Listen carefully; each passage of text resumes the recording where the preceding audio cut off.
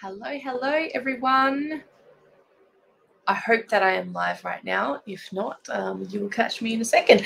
Um, I'm coming on today because I want to talk really super quickly about a few different concepts. So the concepts I want to talk about is inclusion, diversity, equality, and equity in your business.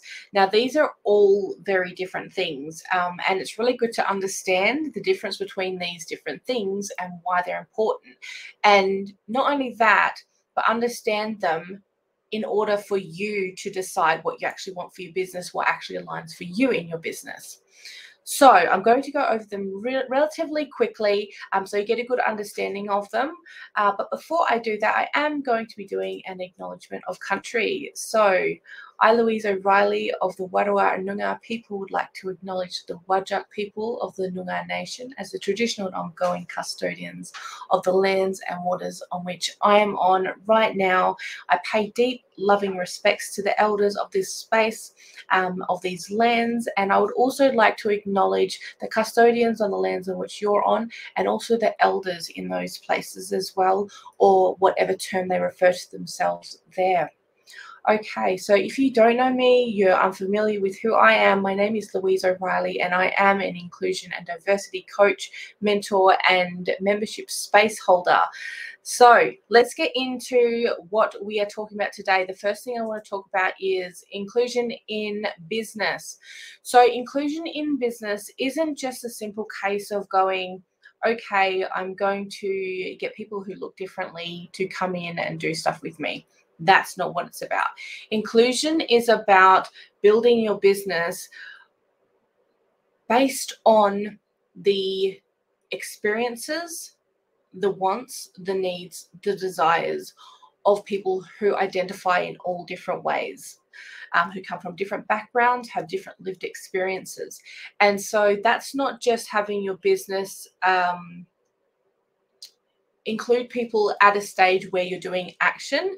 It's more of from the very beginning, having those people in mind, listening to what those people who identify differently. Um, what they're actually saying, what their experiences are with your particular industry, with business in general, with customer service, and having those things in mind and then going, okay, I have listened to those people. What can I actually do to make sure my business is inclusive of their needs? Uh, and it will make it um, easier for them to have access to me to what I've got to offer. It also um, it, it's removing those obstacles that are often in the place. Well, they're always in place for people who are oppressed. There are these different obstacles that they have to get through to get the same level of service or same level of accessibility or just um, access to the services in general. So that is in a nutshell what inclusion is, is making sure that they are their needs, the needs of marginalized people, of oppressed people, are in the whole process of your business from the very foundation, from the very concepts and the intentions, all the way through the process until the end part where it's you're actually delivering those things as well and they need to be there. You need to be listening to those things. This is not something you can come up with. You can't come up with those solutions. Only the people who are experiencing those things can come up with those solutions and tell you what they need and then you can respond Okay, next we are going to go into what is diversity in business. Um, and this is sometimes I find businesses kind of um, put the cart before the horse, so to speak. Um, now, I say I'm an inclusion and diversity coach because there is a certain process it needs to go through. And you can't have genuine diversity, real diversity in your business if you haven't created the inclusive space first. So, what inclusion does is it creates the space which makes it available and safe and accessible for those people who who do identify differently diverse groups of people can come into that space and it is a safe space for them to come into so what I what I'm talking about when I say businesses often put the cart before the horse is that they go, okay, um, I have a really beautiful intention that I want to be more inclusive and I want to have more diversity in my business. Um, and then they go ahead and they make things like quotas um, and making sure that a certain percentage of um, speaking their speaking panels are marginalized people and all these different things without doing the proper groundwork to make sure that space is safe for those marginalized people to enter into. Um, and I'm going to be really truthful with you here. Most business spaces are not safe for marginalized people to be into. It's a very volatile, very unsafe space to be in when you go into it and it is filled with people who have almost the same lived experiences, the same outlooks on life, the same belief systems, the same cultures, they look the same. It's very intimidating to go into that space and you have belief systems and different ideas and different ways of approaching things. Um, and you just look differently in general. It's very intimidating to go into those spaces. So, what we want to be doing is making sure we're preparing the space first to make sure it is safer for those marginalized people to enter into. And when it is safe, naturally the diversity will be um, attracted into those spaces as well. So, diversity is basically where there is a space where people who identify differently and look differently are. Inclusion is when you are valuing and caring about the input that they have, what they what their experiences are, what they actually need. Let's move on to equality. So equality is something that so many people are saying, you know, I really I believe in equality. I want equality for all, um, and that is such a beautiful thing to want.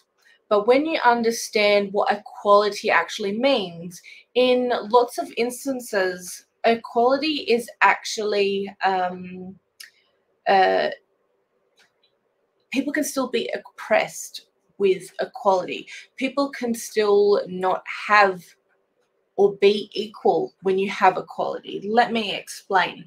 So, if you decide in your business that you want things to be, um, you want equality, and so that means every single person that comes to you and to your use your services gets the exact same treatment. They get the exact same program. They get the exact same. Um, offerings that you're you're giving so everything is exactly the same what you'll find is that that level of equality so you have people who are I don't know if you're familiar with the, um, it's like the hierarchy of privilege, uh, where the most privileged person is at the top, and that that privileged, most privileged person in our particular patriarchal system is, um, you know, a male, he's white, uh, European descent. Um, usually quite well off, has lots of money, uh, usually um, a Christian. So there's lots of uh, different traits that are associated with this perceived ideal human who is the most privileged person uh, in our Western society and then you go down. So every time you don't meet meet a certain trait, you go down in that hierarchy. Um, and then there are some people who are along the bottom. And so if you're saying equality for all, so you're saying anyone who comes from that hierarchy comes to your business, you're going to give them this much. So every single person gets this much. So the people who are up here get this much. So they're up there now. But the people down here are also getting this much, but they're still down here. So sometimes equality doesn't actually work in businesses, and which is really why we need to have this, which is the very next thing I want to talk about with you, which is equity. So equity is really good, and I think quite often when people saying they want equality, what they actually mean is they want equity. And equity is where you can understand there is that hierarchical system that we're currently living in, and that there are certain groups of people who require additional stuff to be at an equal level. So, for example, that person who is at that top of that hierarchy, they're getting this much. So they're here sitting getting this much. And the people at the bottom of that hierarchy are here. Let me put my hand straight, are here. So to be equitable, to make these people here up to this point here, you're actually offering, I don't know if my fingers can spread that much, that much to them to make them come to an equal standpoint. The fact that at the very beginning, we're not starting at the same starting line. We're starting at further distances away, which is why equity is so important to have. So, in business, what equity can look like is um, it can look like uh, sliding scales for income. It can look like uh, scholarships that have are built to be equitable. So people who are marginalized get higher scores and a greater potential to receive scholarships. Um, it can look like you making sure when you are providing a service to individuals that you're not giving the exact same service to every single one. It's it's what they require from you as that service provider and it changes depending on that particular person and how they identify and how they fit into it all. So i hope that that has been a little bit clearer on the difference between inclusion, diversity, equality, and equity. If you do have any questions, please pop them in the link um, uh, in the comments below, and I'll come back and answer them for you. And while I'm here, I do also want to say if you do want to go deeper into this stuff, there is so much to uncover for businesses. Um, what So uh, I'm just I'm just flipping back to a conversation I had earlier that our businesses and a lot of the Western businesses and what they're actually built on is patriarchal systems. And even if you are a woman in business, you identify as a woman in business and you are running it, the way that most women are running their business is still based on those status quo systems, the patriarchal systems of the way business operate. Um, so when we can look into what is classed as the everyday, you know, everyday business stuff and really start to question those status quos, what's actually doing? Where's it going? What's the outcomes going to be? Who is this helping? Um, who is this not helping? And really start to question how we're doing everything in business and ask the question is this actually aligned to what i want to be creating in the world? Is this actually aligned to my own value systems? We can break them down and work out exactly what your business wants to do and how your business wants to show up in the world. Not only that we look at um, we look at the where you sit in the conversation of everything. So when you're actually wanting to take action and be inclusive or be equitable um, and create that space for diversity, you know the actions you can take or the actions that are probably inappropriate.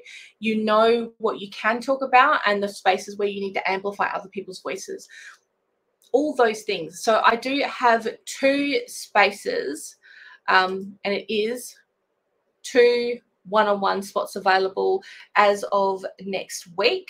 So if you are interested in hearing, just even hearing more about the program, it is a four-week program, and I do have an eight-week program as well. But if you're interested in hearing e about either of those, in the link, you can book a uh, clarity call with me, and we'll go through it and make sure it's actually going to be a good fit for you and your business. And um, yeah, I look forward to hearing your questions. And um, if you are interested in doing any one on one coaching with me, I do have two spots. So get in contact with me as soon as possible. I'm sending you so much love and thank you for watching the video. I hope it has made the inclusion, diversity, equality, and equity more um, more understandable for you. Bye for now.